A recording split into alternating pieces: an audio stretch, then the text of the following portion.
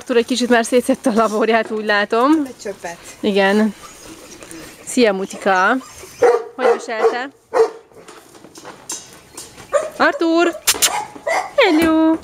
Mész gazdához, ugye? Nem éljük.